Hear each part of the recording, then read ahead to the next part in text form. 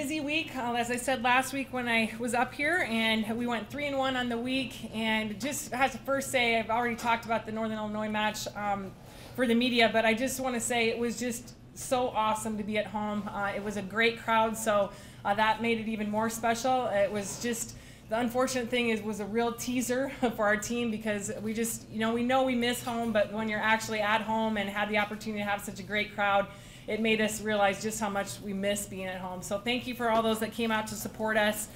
Um, we headed to Bradley on the weekend uh, to play our first conference match of the season against Bradley, and then uh, that was in conjunction with the tournament that they held. Uh, Friday night we had Bradley, and I felt uh, really good about that match. Bradley is a much improved team over last year. Um, and I thought we did some really good things in that Bradley match. I think um, again, it's just more of the consistency. Uh, we did had some moments where we maybe didn't do things as well as we needed to, but uh, overall we did a lot of great things. The one performance I'd like to point out, uh, I know I've talked several times about not um, being solidified with our right side hitter position, and we're still, um, you know, trying out different things. But I thought uh, Macy Ubben had a great weekend for us in that position. Uh, Bradley obviously did their scouting report well, and we're not paying much attention to that position for us. Uh, we're focusing more on some of our other kids. Uh, and Macy Ubben did a nice job of stepping up and being somebody that they had to change their game plan for. So very proud of her effort, and she just continued that into the other two matches on the weekend uh, and had a great performance for us. So uh, very happy to see that.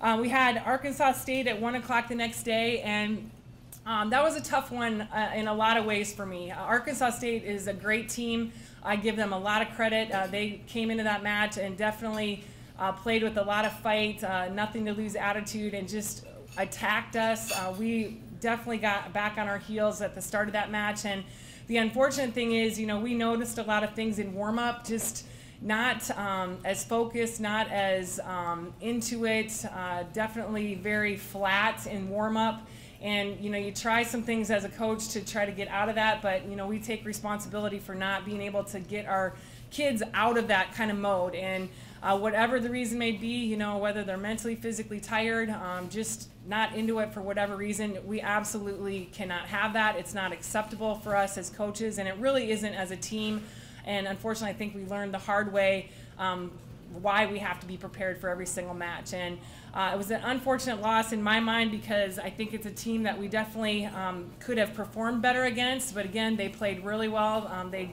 did had a nice match against Long Beach State the nice, night before as well. Uh, but definitely one that we, we felt uh, was just uncomfortable from start to finish. It's a, a horrible way to play a match.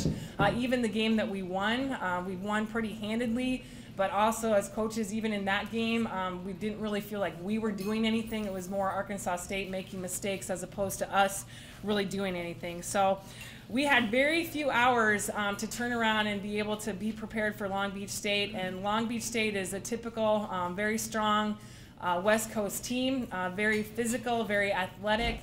Uh, earlier in the season, they have lost some matches because uh, early the first weekend they lost their two middles uh, in the same weekend uh, which would be obviously devastating for any program a team that has had a lot of high hopes for this season. They were able to get one of their middles back uh, so a very good long beach state team that we were going up against.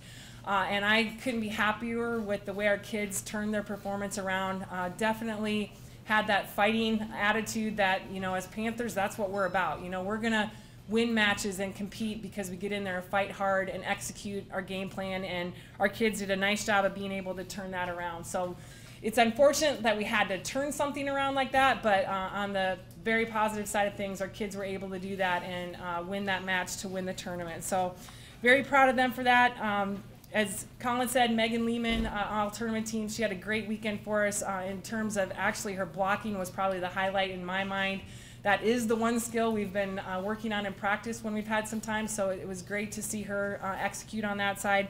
Shelby Kinsel also 14 blocks in the Long Beach State match, which is huge. Uh, that's a very high number. Uh, she was also able to do some other things blocking for us. So very happy with her. And then Candace Burke, um, all tournament team uh, MVP just was the most consistent um, kid for us this weekend in terms of what she did for us defensively, digging. Uh, also, her serving uh, really got us out of some situations, and she also executed well on passing. So very proud. I think all of our kids had moments of being uh, really strong. It's just being able to consistently do that, uh, everyone at the same time.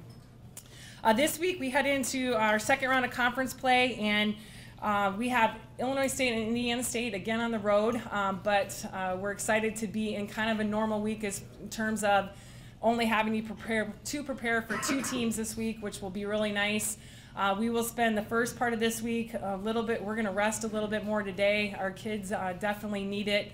Uh, and then we're going to focus the first part of this week on our side of the net and doing some things that we've wanted um, to get in there and practice. And then obviously the last part of the week we'll focus on Indiana State and Illinois State. Uh, we always uh, have great matches with those two teams on the road. Uh, we don't know exactly. We have a lot of information, obviously, from last year. But uh, Illinois State has had a great uh, preseason.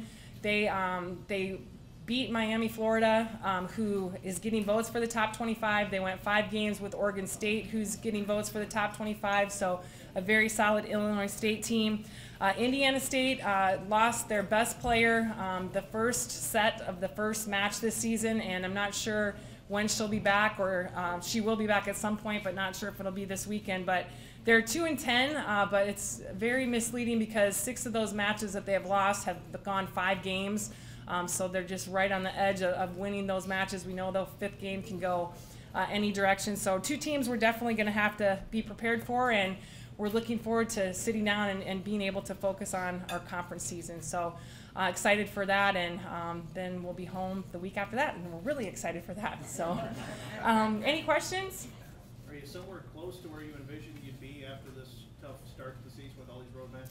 Um, yeah, you know, it's hard because you schedule a lot of matches that you feel can go either way. Uh, and I think, you know, the hard part for us is I think we, we haven't won that big match yet. Excuse me, the fly up here. Um, that some of those matches that we scheduled, um, you know, you'd like to get one of those wins uh, or two of those wins or all of them, but uh, we, we haven't really gotten in my mind that big win. I think we've we've beaten teams uh, that we should, and you know we've battled against teams that we knew we'd battle against. So, um, as far as win loss, maybe not, but I think you know the biggest thing for us is to be able to be at our best by the end of the season when that conference tournament time is there. And I definitely like um, the improvement that we've seen every day, especially with the lack of practice that we've been able to get. With Candace, it seems like she's coming along right she is. She's she was really great this weekend, and you know she really took that Arkansas State match um, pretty personally, and it was great to see her response. You know, she was just the Long Beach State back match. She was amazing. You know, just really took control of that backcourt, and you know we have two kids in my mind, Candace and Amy, that really can take control back there. Uh, she really stepped it up. Our passing against Long Beach um, was second to none for us this year, and basically it was Amy and um, Candace taking much of that role. So uh, very glad to see that, and her serving again was great too. So it's good to see you know her really stepping up uh, when we need her to. How nice is it now, basically just two matches a week the rest of the way to try to get a consistent practice regimen going and make sure that the players are well prepared for each match and then also fresh for each coming week?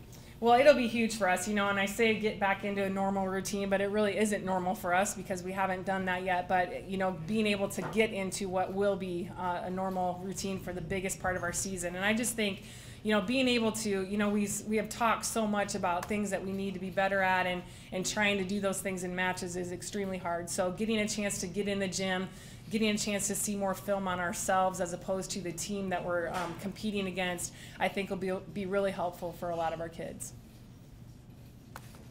All right, thank you.